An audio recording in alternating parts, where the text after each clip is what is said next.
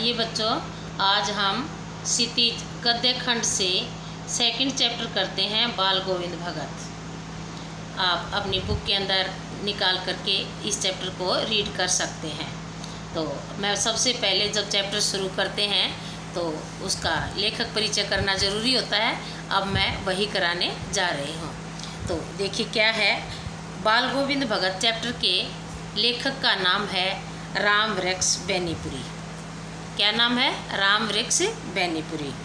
राम वृक्ष बैनीपुरी का जन्म 1902 में बिहार राज्य में मुजफ्फर के बैनीपुर गाँव में हुआ था। बचपन से ही वे दुखी थे। बचपन में ही उनके माता पिता का देहांत हो गया था। तो उनका पालन पोषण उनकी मौसी के द्वारा किया गया था। उन्होंने अनेक कठिनाइयाँ सही और मुश्किल से वो दसवीं कक्षा ही उत्तीर्ण कर पाए। 1920 में वे असहयोग आंदोलन के समय में कई बार जेल यात्रा भी गए। अल्पायु में ही उनकी रचनाएँ पत्र पत्रिकाओं में आने लगी थी। उनके द्वारा कई रचनाएँ लिखी गई, जैसे तरुण भारत, किसान, मित्र, बालक, युवक, करमवीर आदि, जो ये रामवृक्ष बैनीपुरी थे, इनका देहांत उन्नीस सौ अड़सठ में हो गया।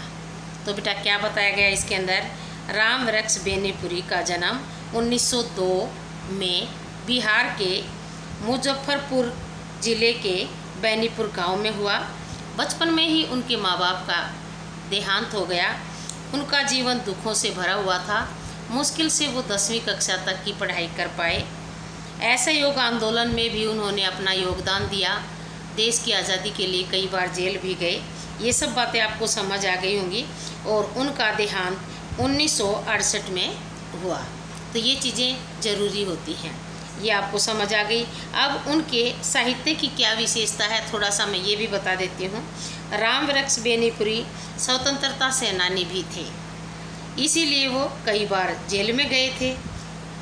उनकी रचनाओं में देश की आज़ादी का स्वर सुनाई देता है। इन रचनाओं में बाल सुलभ जिज्ञासा के दर्शन भी हो जाते हैं। जो राम वृक्ष बेनीपुरी थे, उनकी भाषा खड़ी बोली है।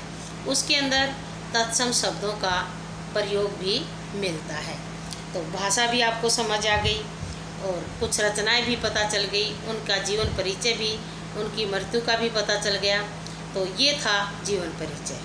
अब हम अगली वीडियो में इसके चैप्टर के बारे में करते हैं कि बाल गोविंद भगत कौन थे, कैसे थे रामरक्ष बैनीपुरी उनके बारे में क्या बताना चाहते हैं। तब तक, ठीक है बेटा? इसको अच्छे से पढ़ना, याद करना।